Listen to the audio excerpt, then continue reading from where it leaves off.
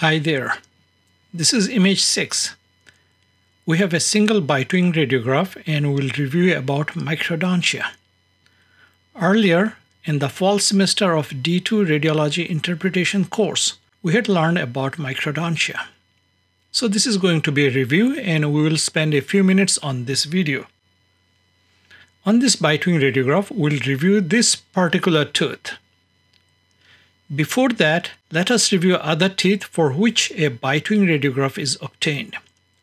You may recall that there are two clinical purposes for a bite-wing radiograph.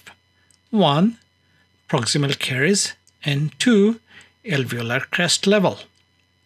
About proximal caries or status of proximal restorations, we can see overhang or defective restorations, maybe we have a defective restoration on this tooth as well.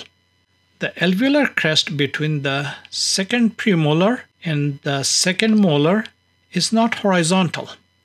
The first molar is missing. If we draw a line on the alveolar crest and draw an imaginary line between the CEJ of these two neighboring teeth, these two lines are parallel. So there is no horizontal alveolar bone loss. Also see the density of the alveolar crest and the sharp angle. So the alveolar crest here is normal. Going back to this tooth, we see a small maxillary third molar or a supernumerary tooth. If we consider this to be a small third molar, it fulfills the criteria of a microdont. So the crown is small as well as the root is small. So there are different kinds of tooth size anomalies. The first is macrodontia or a large tooth and a microdontia uh, which is a smaller than usual tooth. On our bite-wing radiograph we saw that the third molar is smaller than usual. Here is an example of a macrodontia. On this panoramic radiograph, we see that these two central incisors are much wider than the lateral incisors.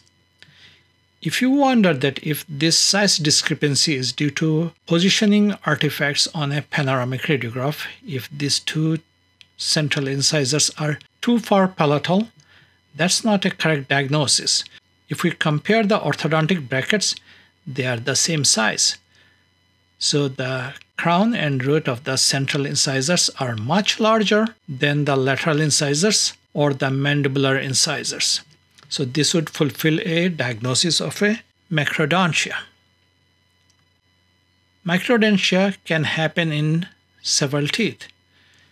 Most common is the maxillary third molars as we have seen in our bite-wing radiograph, followed by maxillary laterals and then followed by maxillary premolars.